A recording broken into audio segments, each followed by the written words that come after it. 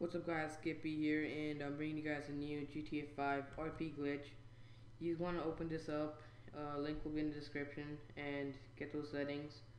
Once you're in, you guys are going to be starting out with the knife and uh, you want to kill the enemies with a knife and try to make it to the fence. Right here I die a couple of times, like three times, and then on the third time I spawn like right behind defense or right in front of it. And uh, right here I have to make my way through. Don't forget what level I am right now and how far I am from level 57 and then check at the end of the video. Right here I die by him and I spawn right behind the fence right here and I see this woman right here trying to get through but I got her in time and now what you guys want to do is change to your fist and move up as close as you can to the fence. Then you guys want to start punching and then you will be getting through the fence.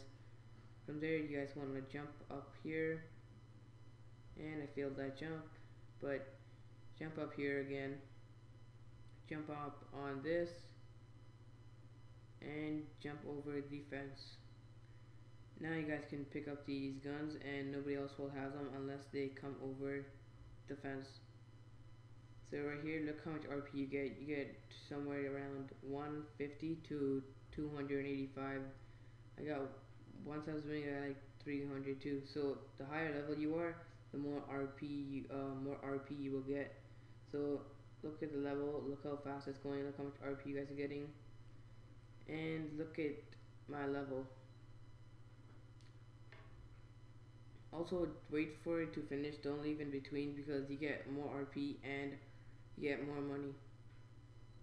So that's probably the last uh, RP glitch uh, for the update 1.12 but I will be doing a video about the update 1.13 all the new cars and all the new apartment and I'll see you guys later